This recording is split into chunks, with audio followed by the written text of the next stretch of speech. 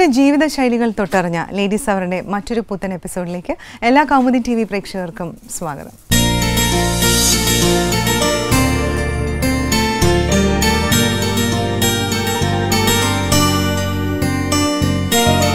വിവിധ മേഖലകളിൽ തങ്ങളുടേതായ പ്രാഗൽഭ്യം തെളിയിച്ച് വിജയം നേടിയ സ്ത്രീരത്നങ്ങളെ പരിചയപ്പെടുത്തുന്നു smart lady.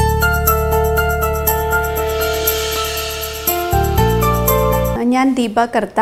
Rudra school of classical dancers എന്ന നൃത്ത വിദ്യാലയത്തിന്റെ ആർട്ടിസ്റ്റിക് ഡയറക്ടറാണ് രുദ്ര സ്കൂളിൽ ഭരതനാട്യം കഥക് മോഹിനിയാട്ടം എന്നീ നൃത്തരൂപങ്ങളാണ് അഭ്യസിപ്പിച്ചു വരുന്നത്. ഞാൻ നാല് വയസ്സ് മുതൽ നൃത്തം പഠിക്കുന്നുണ്ട്. ഭരതനാട്യമായിരുന്നു ആദ്യം പഠിച്ചു തുടങ്ങിയത്. അതിനുശേഷം മോഹിനിയാട്ടം കുച്ചിപ്പുടി വളരെ കുറച്ചു കാലത്തെ ട്രെയിനിങ് കഥകളിയിലും എടുത്തിട്ടുണ്ട്. പിന്നെ ഇപ്പോൾ വളരെ റീസെന്റായിട്ടാണ് ഞാൻ കഥക്കും കൂടി പഠിക്കാൻ തുടങ്ങിയത്. കഴിഞ്ഞ ഒരു അഞ്ചാറ് വർഷമായിട്ട് ഞാൻ കഥക്കും പഠിച്ചു വരുന്നുണ്ട്. ഞാൻ ഒരു പെർഫോമറും കൂടിയാണ്. ഭരതനാട്യം റിസൈറ്റൽസ് ചെയ്യാറുണ്ട്. ഇപ്പോൾ കഥക് റിസൈറ്റൽസ് ചെയ്യാറുണ്ട് മോഹിനിയാട്ടവും ചെയ്യാറുണ്ട്. കൂടാതെ രുദ്ര സ്കൂളിന് തന്നെ ഒരു പെർഫോമിംഗ് വിങ്ങും കൂടി ഉണ്ട്. അവിടെ പഠിക്കുന്ന കുട്ടികളെ തന്നെ നല്ല കുട്ടികളെ സെലക്ട് ചെയ്തിട്ട് നമുക്കൊരു പെർഫോമിംഗ് വിങ്ങും കൂടി ഉണ്ട്.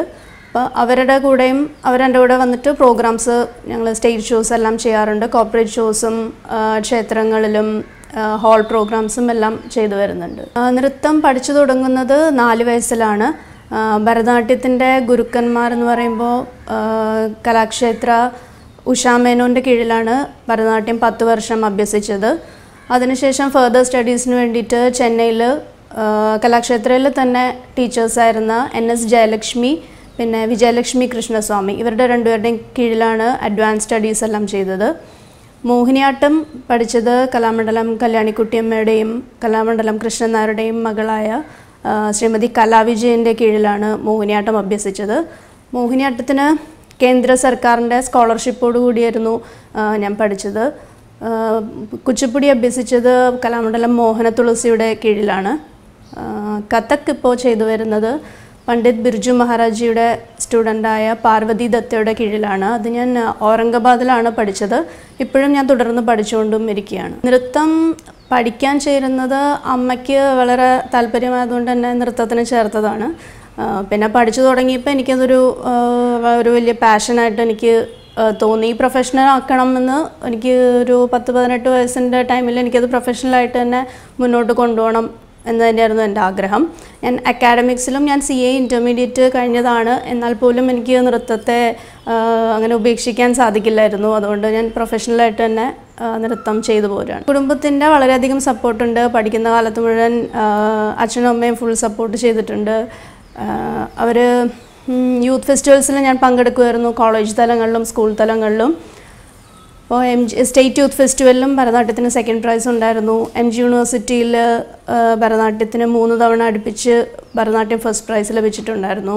അപ്പോൾ വളരെയധികം സപ്പോർട്ട് ചെറുപ്പത്തിലേ തന്നെ കിട്ടിയിരുന്നു. ഇപ്പോൾ കല്യാണത്തിന് ശേഷമാണെങ്കിലും ഹസ്ബൻഡ് വീട്ടിൽ നിന്നും നല്ല സപ്പോർട്ട് തന്നെ കിട്ടുന്നുണ്ട്. ശ്രീ കൃഷ്ണഗാന സഭയുടെ പൊങ്കൽ ഫെസ്റ്റിവൽ എന്നൊരു നൃത്ത ഫെസ്റ്റിവൽ ഉണ്ടായിരുന്നു തേർട്ടി ഡേയ്സിന്റെ തേർട്ടി ഡേയ്സിൽ ഓരോ ദിവസം ഓരോരുത്തരാണ് നൃത്തം അവതരിപ്പിച്ച് വരിക. അവിടെ ഞാൻ ഭരതനാട്യം അവതരിപ്പിച്ചിരുന്നു. അതിനെനിക്ക് ബെസ്റ്റ് ഡാൻസറിന്റെ അവാർഡ് ശ്രീ കൃഷ്ണഗാന സഭ വളരെ പ്രസ്റ്റീജിയസ് ആയിട്ടുള്ളൊരു സഭയാണ് ചെന്നൈയിൽ അവിടെ നിന്ന് എനിക്ക് ബെസ്റ്റ് ഡാൻസറിന്റെ അവാർഡ് ലഭിച്ചിരുന്നു. പിന്നെ നവരാത്രി രത്ന പുരസ്കാരം എന്ന് പറഞ്ഞിട്ട് ശ്രീധരിയും ഗ്രൂപ്പ് അവാർഡ് ചെയ്തതാണ്. അങ്ങനെ രണ്ട് പുരസ്കാരങ്ങൾ കിട്ടിയിട്ടുണ്ട്. രണ്ട് സിനിമയിലും കൊറിയോഗ്രാഫി ചെയ്യാനായിട്ട് ഇടയായി. കമൽ സാറിന്റെ നടൻ എന്ന ചിത്രത്തിൽ ഒരു കഥക്കിന്റെ സീക്വൻസ് ഉണ്ടായിരുന്നു. അത് കൊറിയോഗ്രാഫി ചെയ്തിരുന്നു. കൂടാതെ ഈ അടുത്ത് ടി വി ചന്ദ്രൻ സാറിന്റെ മോഹവലയം എന്ന സിനിമയിലും ഒരു കഥക് സീക്വൻസ് കൊറിയോഗ്രാഫി ചെയ്തിരുന്നു. അതിനിയും ഇറങ്ങിയിട്ടില്ല. രണ്ട് സിനിമകളിൽ കൊറിയോഗ്രാഫി ചെയ്യാനുള്ളൊരു അവസരവും ഉണ്ടായി. കുട്ടിക്കാലം എന്ന് പറയുമ്പോൾ എനിക്ക് ഞാൻ സ്കൂൾ കോളേജിൽ പഠിച്ചുകൊണ്ടിരുന്ന അത്രയും സമയവും ഞാൻ പഠനത്തെക്കാട്ടിലും കൂടുതൽ നൃത്ത പഠനത്തിലായിരിക്കും ഞാൻ കൂടുതൽ സമയം ചെലവഴിച്ചിട്ടുണ്ടാവുക. പ്രത്യേകിച്ച് കോളേജ് കാലഘട്ടങ്ങളിൽ മഹാരാജാസ് കോളേജിലായിരുന്നു പഠിച്ചത്. അവിടെ വളരെയധികം സപ്പോർട്ട് ചെയ്യുന്ന ഒരു കോളേജാണ് ആർട്സിന് വേണ്ടിയിട്ട്. ഞാൻ ഫുൾ ടൈം തന്നെ രാവിലെ തൊട്ട് ഈവനിങ് വരെ തന്നെ പ്രാക്ടീസ് എന്ന രീതിയിലാണ് ആ സമയത്തൊക്കെ പഠിച്ചുകൊണ്ടിരുന്നത് ആ സമയത്തൊരു ആ ഒരു ഫൈവ് ഇയേഴ്സ് എനിക്ക് ശരിക്കും ഫുൾ ഞാൻ ഡാൻസിൽ തന്നെ കോൺസെൻട്രേറ്റ് ചെയ്യായിരുന്നു. ബി എസ് സി മാത്സ് ആണ് അവിടെ ചെയ്തുകൊണ്ടിരുന്നതെങ്കിലും കൂടുതൽ പഠിച്ചുകൊണ്ടിരുന്നത് നൃത്തം തന്നെയായിരുന്നു. ആ ഒരു കാലഘട്ടത്തിലാണ് നൃത്തത്തെക്കുറിച്ച് കൂടുതൽ പഠിച്ചതും പ്രാക്ടീസ് ചെയ്തതും അറിഞ്ഞതും പിന്നീട് ഇതിലേക്ക് വരാനുള്ള ഒരു പ്രചോദനമായതും ആ ഒരു കാലഘട്ടം തന്നെയാണ്. ഡ്രീം പ്രോജക്റ്റ് എന്ന് പറഞ്ഞാൽ എനിക്കൊരു നൃത്ത സ്ഥാപനം കുറച്ചും കൂടെ ഒരു വലിയ പ്രോജക്റ്റ് എന്ന രീതിയിൽ ചെയ്യണം എന്നുണ്ട്. ഇപ്പോൾ ഒരു ഫൈൻ ആർട്സ് കോളേജ് പോലെയോ ഒരു നൃത്തത്തെ മാത്രം പല ഫോംസിനെ സമന്വയിപ്പിച്ചുകൊണ്ട് കുട്ടികൾക്ക് വളരെ ഡീറ്റെയിൽഡ് ആയിട്ട് നൃത്തം പഠിക്കുന്ന ഒരു സ്ഥാപനം. ഇപ്പം നമ്മൾ നടത്തിക്കൊണ്ട് പോകുന്ന ക്ലാസ് എന്ന് പറഞ്ഞാൽ റെഗുലർ ആഴ്ചയിൽ രണ്ട് ദിവസം വെച്ചുള്ള ക്ലാസ്സുകളാണ് നടത്തിക്കൊണ്ട് പോകുന്നത്. അതല്ലാതെ ഒരു ഫുൾ ടൈം കോഴ്സ് എന്ന രീതിയിലൊരു പ്രോജക്റ്റ് മനസ്സിലുണ്ട്. ആഗ്രഹമുണ്ട് അങ്ങനെ ചെയ്യണം എന്ന്. ഇപ്പോഴത്തെ കാലഘട്ടത്തിൽ കൂടുതൽ അങ്ങനെ കണ്ടുവരുന്നുണ്ട്. യൂത്ത് ഫെസ്റ്റിവൽസിന് വേണ്ടി ടെൻ മിനിറ്റ്സോ ഫിഫ്റ്റീൻ മിനിറ്റ്സോ ഒരു ഐറ്റം മാത്രം പഠിച്ച് സ്റ്റേജിൽ കയറുന്നൊരു പ്രവണത കണ്ടുവരുന്നുണ്ട്. പക്ഷെ അല്ലാത്ത കുട്ടികളും ഉണ്ടാകാം. പക്ഷേ ഞാൻ പഠിച്ചുകൊണ്ടിരുന്ന സമയത്ത് തീർച്ചയായിട്ടും നൃത്തത്തെക്കുറിച്ച് കൂടുതൽ അറിഞ്ഞുകൊണ്ട് തന്നെയാണ് നമ്മളൊരു പത്ത് മിനിറ്റിന്റെ വർണമോ എന്തെങ്കിലും സ്റ്റേജിൽ അവതരിപ്പിച്ചുകൊണ്ടിരുന്നത്. അതൊരിക്കലും ഒരു പത്ത് മിനിറ്റിന്റെ മാത്രം പഠന രീതി ആയിരുന്നേ ഇല്ല അതുകൊണ്ടാണ് ഇപ്പോഴും ഇത് കണ്ടിന്യൂ ചെയ്ത് പോകാൻ സാധിക്കുന്നത്. നമ്മൾ യൂത്ത് ഫെസ്റ്റിവൽ വേദിയിൽ കാണുന്ന കുട്ടികളാണെങ്കിലും ഫസ്റ്റ് പ്രൈസും കലാതിലകവും ഒക്കെയായി വരുന്ന കുട്ടികളെ പിന്നീട് നമ്മൾ ഈ ഒരു തലത്തിൽ കാണാത്തത് അവരാകെ ആ പത്ത് മിനിറ്റ് മാത്രമായിരിക്കും പഠിച്ചിട്ടുണ്ടാവുക. അപ്പോൾ അവർ ആ കോളേജ് സ്കൂൾ തലങ്ങളിൽ ആ ടെൻ മിനിറ്റ്സ് ആയിട്ടാണ് അവർ അഞ്ച് വർഷവും ആറ് വർഷവും കളിക്കുന്നത്. സെയിം ഐറ്റം തന്നെയായിരിക്കും. അപ്പോൾ അതിന്റെ അതിന്റെ അപ്പുറത്തേക്കൊരു പഠനമോ അതിനെക്കുറിച്ച് കൂടുതൽ അറിയാനോ ഒന്നും ശ്രമിക്കാറില്ല. അപ്പോൾ ആ ഒരു പ്രവണത ശരിയല്ല. കൂടുതലും കോമ്പറ്റീഷൻ ബേസ്ഡ് ആയിട്ട് നൃത്തത്തെ കാണാതെ സീരിയസ് ആയിട്ട് അതിനെക്കുറിച്ചുള്ള ഡെപ്തിലേക്ക് പോയി പഠിക്കുന്നതാണ് കൂടുതൽ നല്ലത്. ഹസ്ബൻഡ് റജി ഭാസ്കർ ഫാഷൻ ഫോട്ടോഗ്രാഫറാണ് മകൻ വിഘ്നേഷ് ടോക്കറ്റ് സ്കൂളിൽ പഠിക്കുന്നു. എപ്പോഴും നൃത്തം അഭ്യസിക്കണം ഏതെങ്കിലും ഒരു ആർട്ട് ഫോം പഠിക്കണം എന്ന് തോന്നുമ്പോൾ അതിന് ശരിയായ ഗുരുവിനെ കണ്ടെത്തുക എന്നുള്ളതാണ് ഫസ്റ്റ് സ്റ്റെപ്പ് അവിടെയാണ് അതിന്റെ ഒരു മാർക്കിംഗ് കിടക്കുന്നത്. നമ്മൾ ഏത് ഗുരുവിന്റെ അടുത്ത് പഠിച്ചു എന്ന് പറയുമ്പോൾ തന്നെ അറിയാം. നമുക്ക് ഏത് രീതിയിലുള്ള ട്രെയിനിങ് ആണ് ലഭിച്ചിട്ടുള്ളതെന്ന് ആ ഗുരുവിന്റെ പേര് പറഞ്ഞാൽ തന്നെ അറിയാം. അപ്പോൾ ഗുരുവിനെ കണ്ടെത്തുക എന്നുള്ളതാണ് ഫസ്റ്റ് സ്റ്റെപ്പ് അവിടെ നമുക്കൊരു തെറ്റ് സംഭവിച്ചാൽ നമ്മുടെ ട്രെയിനിങ്ങിന്റെ ഫുൾ രീതികളെല്ലാം തെറ്റും. പിന്നെ ഇടയ്ക്ക് വെച്ച് നമ്മൾ മാറി പഠിക്കുക അതിനെ കറക്റ്റ് ചെയ്യുക ശരിയാക്കുക ഇതെല്ലാം വളരെ ബുദ്ധിമുട്ട് പിടിച്ച ജോലിയാണ്. അത് പലപ്പോഴും പലരിലും അത് ശരിയായി നടക്കാറില്ല. അപ്പോൾ ബേസിക്കലി സ്റ്റാർട്ട് ചെയ്യുമ്പോൾ തന്നെ ഇപ്പോൾ ഫൈവ് ഇയേഴ്സ് തൊട്ടാണ് നമ്മുടെയൊക്കെ സ്കൂളിൽ കുട്ടികളെ എടുക്കുന്നത്. ഫൈവ് ഇയേഴ്സ് തൊട്ട് പഠിക്കുന്നത് നമ്മുടെ ശരീരത്തിൽ ടെക്നിക്സ് എല്ലാം നന്നായിട്ട് വരുന്ന ഒരു സമയമാണ്. ഒരു ഫൈവ് ടു ഫിഫ്റ്റീൻ ഇയേഴ്സ് എന്ന് പറഞ്ഞാൽ. അപ്പോൾ ആ ഒരു ഗുരുക്കന്മാരെ കണ്ടെത്തുക. അപ്പോൾ ഓരോ ആർട്ട് ഫോമിലും എക്സൽ ചെയ്തിരിക്കുന്ന ആൾക്കാരുണ്ടാവും. അവർ അവരുടെ ഗുരുക്കന്മാർ ആരാണെന്നറിയാം അവർ ഏത് സ്റ്റൈലാണ് ഫോളോ ചെയ്യുന്നതെന്നറിയാം.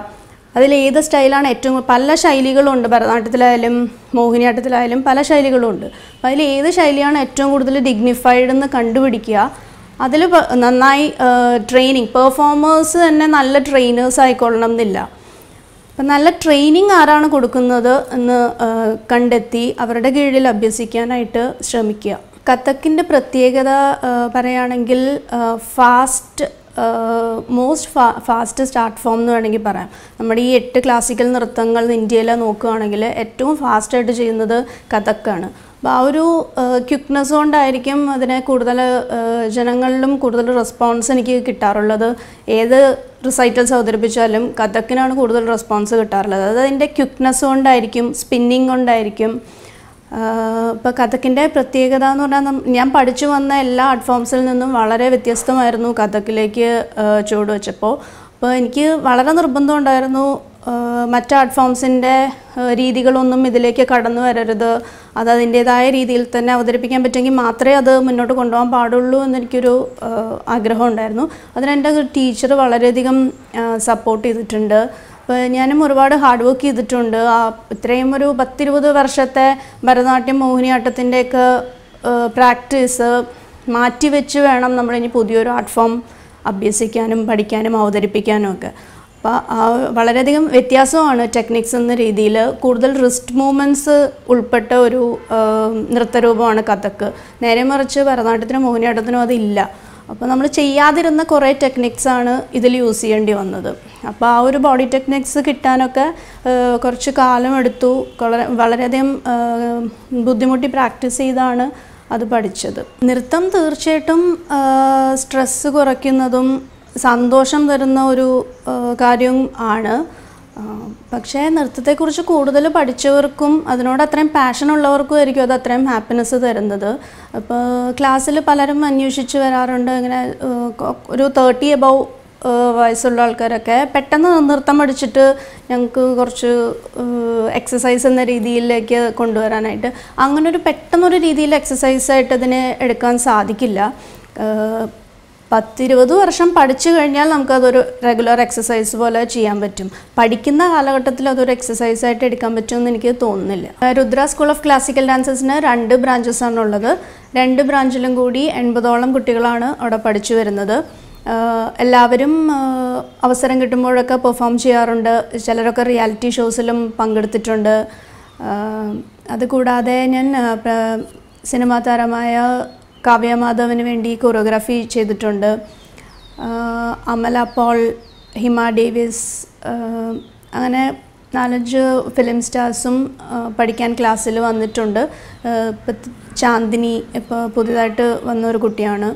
അപ്പോൾ അവരെല്ലാവരും ഇപ്പോൾ ക്ലാസ്സിൽ വന്നിട്ട് ഇൻഡിവിജ്വൽ ക്ലാസ്സസ് ആയിട്ടാണ് എല്ലാവരും വരാറുള്ളത്. അവരെല്ലാവരും വന്ന് പഠിക്കാറുണ്ട്. പുതിയതായിട്ട് ഡാൻസ് പഠിക്കാൻ ചേരുന്ന കുട്ടികളോടുള്ള ഒരു കാര്യം പറയാൻ ഉദ്ദേശിക്കുകയാണെങ്കിൽ ഞാൻ നേരത്തെ പറഞ്ഞ പോലെ തന്നെ ശരിയായ ഗുരുക്കന്മാരെ തിരഞ്ഞെടുക്കുന്ന ഒരു രീതി. കാരണം ഞാൻ ഇപ്പോൾ കൊച്ചിയിൽ തന്നെയാണെങ്കിൽ പല ഡാൻസ് സ്കൂൾസും പല ഡാൻസ് ടീച്ചേഴ്സിനെയും കണ്ടിട്ടുണ്ട് ഞാൻ. അവർ അവർ തന്നെ ശരിയായ ഒരു പഠന രീതി എടുത്തിട്ടുണ്ടാവില്ല. അപ്പോൾ എത്രയോ രണ്ടോ രണ്ടോ മൂന്നോ കൊല്ലത്തെ പരിശീലനത്തിൽ നമുക്ക് ഒരിക്കലും ഒരു ഡാൻസ് ഫോം ഒരാളെ പഠിപ്പിക്കാൻ സാധിക്കുകയില്ല. നമ്മളതിനെ അത്രയും ഡെപ്തിൽ അറിഞ്ഞെങ്കിൽ മാത്രമേ നമുക്കത് മറ്റൊരാൾക്ക് പറഞ്ഞു കൊടുക്കാനും അവർ ചെയ്യുന്നത് ശരിയാണോ എന്ന് മനസ്സിലാക്കാനും അവർ ചെയ്യുന്ന തെറ്റുകൾ കണ്ടുപിടിച്ച് അത് കറക്റ്റ് ചെയ്യാനും സാധിക്കുകയുള്ളൂ. അത് നമുക്ക് കിട്ടിയ ട്രെയിനിങ്ങിന്റെ ശക്തി എന്തുമാത്രമുണ്ട് അതനുസരിച്ചിട്ടേ നമുക്ക് മറ്റുള്ളവരെ പഠിപ്പിക്കാൻ സാധിക്കുകയുള്ളൂ. അപ്പം ഞാൻ പല ഡാൻസ് സ്കൂൾസും ടീച്ചേഴ്സിനെ ഇവിടെ കണ്ടിട്ടുണ്ട്. അവർക്ക് തന്നെ കറക്റ്റ് ബേസിക് നോളജ് ഇല്ലാതെ അവർ കുട്ടികളെ അപ്പോൾ ഈ ചെറിയ കുട്ടികൾക്കും അവരുടെ പാരൻസിനും കുറ്റം പറയാൻ സാധിക്കില്ല. കാരണം അവർക്കും അറിയില്ല ഇതിൽ ഏതാ ശരി ഏതാ തെറ്റെന്ന് അവർക്കും അറിയില്ല. അപ്പോൾ ഏതോ അടുത്തൊരു ടീച്ചറുണ്ട് എന്ന് കരുതി അവിടെ കൊണ്ട് ചേർക്കുന്ന ഒരു രീതിയും ഇവിടെ കേരളത്തിലാണ് അത് കൂടുതൽ കണ്ടുവന്നിട്ടുള്ളത്. ഏറ്റവും അടുത്ത് കിട്ടുന്ന ഒരു ക്ലാസ്സിലായിരിക്കും അവരെ കുട്ടികളെ കൊണ്ട് ചേർക്കുക. അപ്പോൾ അങ്ങനെ ഒരു രീതി തുടരാതെ ശരിയായ സ്കൂളാണോ ശരിയായ ടീച്ചറാണോ അവർക്ക് ബേസിക് നോളജ് ഉണ്ടോ പഠിപ്പിക്കാനുള്ള അത്രയും അവർ ആ ആർട്ട് ഫോമിനെ കുറിച്ച് മനസ്സിലാക്കിയിട്ടുണ്ടോ? തിയറി വൈസ് എല്ലാം അറിയാമോ? ഇതിപ്പോൾ പ്രാക്ടിക്കൽസ് മാത്രമല്ല ഡാൻസിലുള്ളത് ഇതിന് തിയറി എന്ന് പറഞ്ഞൊരു പാർട്ടും കൂടെ ഉണ്ട്. അതിനെക്കുറിച്ചും കൂടെയുള്ള ഒരു അറ്റ്ലീസ്റ്റ് ചെറിയൊരു ബേസിക് ജ്ഞാനമെങ്കിലും ഇല്ലാതെ നമുക്ക് മുന്നോട്ട് കൊണ്ടുപോകാൻ സാധിക്കില്ല. അപ്പോൾ ആ ടീച്ചിങ് എന്നുള്ളത് അത് ടീച്ചേഴ്സും കൂടുതൽ ശ്രദ്ധിച്ചാൽ നല്ലതായിരിക്കും. എനിക്ക് ടീച്ച് ചെയ്യാൻ പറ്റുമോ എന്ന് സ്വയം തന്നെ അനലൈസ് ചെയ്തുകൊണ്ട് വേണം ഒരു കുട്ടിയെ പഠിപ്പിക്കാനായിട്ട്. അപ്പോൾ ഒരു നൃത്തവും നമുക്ക് നശിപ്പിക്കാൻ വേണ്ടിയിട്ടല്ല നമുക്ക് ഇന്ത്യൻ ക്ലാസിക്കൽ രൂപങ്ങളുള്ളത് കാരണം അത് അത്രയും കഷ്ടപ്പെട്ട് പഠിക്കാനുള്ളതും ഏറ്റവും കൂടുതൽ പ്രാക്ടീസ് ആവശ്യമുള്ളതുമായ നൃത്തരൂപങ്ങളാണ് നമ്മുടെ ഇന്ത്യയിലുള്ളത്. അപ്പോൾ അതിനെ നശിപ്പിക്കാതെ കാത്തു സൂക്ഷിക്കുക എന്നുള്ളതും നമ്മുടെ ഒരു ജോലി തന്നെയാണ്. അപ്പോൾ ആ ഒരു രീതിയിൽ ടീച്ചേഴ്സും അതിനെ കാണുക പാരൻസും കുട്ടികളും അത് ശ്രദ്ധിക്കുക. നല്ല ടീച്ചേഴ്സിന്റെ അടുത്താണോ പഠിക്കുന്നത്? പല ഫേക്ക് സ്കൂൾസും ഫേക്ക് ടീച്ചേഴ്സിനെ ഒക്കെ ഞാൻ കാണുന്നുണ്ട്. കാരണം അവർ എനിക്കത് മനസ്സിലാവുന്നത് ആ കുട്ടികൾ ചിലപ്പോൾ നമ്മുടെ അടുത്ത് പിന്നെ വരാറുണ്ട്. നാലഞ്ച് കൊല്ലം വേറെ ഏതെങ്കിലും ടീച്ചേഴ്സിന്റെ അടുത്ത് പഠിച്ചിട്ട് പിന്നെ നമ്മുടെ ഡാൻസ് സ്കൂളിൽ ചേരാൻ വരുമ്പോഴാണ് അവർ പഠിച്ചിട്ടുണ്ടെന്ന് പറഞ്ഞു വരും. അപ്പോൾ ഫൈവ് ഇയേഴ്സ് ട്രെയിനിങ് എടുത്തിട്ടുണ്ട്. ഓ അപ്പോൾ നമ്മൾ വിചാരിക്കും ഓ ബേസിക്സ് അറിയാമെന്ന്. പക്ഷെ കളിക്കുമ്പോഴാണ് ഇതുമാത്രം തെറ്റുകളാണ് മുദ്ര പിടിച്ചിരിക്കുന്നത് പോലും ശരിയായ രീതിയിലല്ല. മുദ്ര പിടിച്ചിരിക്കുന്നതെന്ന് പറഞ്ഞാൽ അതൊക്കെ വളരെ ബേസിക്കായിട്ട് കുഞ്ഞിലെ അഞ്ചാറ് വയസ്സുള്ളപ്പോൾ തന്നെ കുട്ടികൾ മുദ്രകളൊക്കെ കറക്റ്റായിട്ട് പിടിക്കാൻ തുടങ്ങും. അപ്പോൾ ആ അത്രയും പോലും കെയർ എടുക്കാതെ ടീച്ചിങ് മുന്നോട്ട് കൊണ്ടുപോകാൻ പാടില്ല.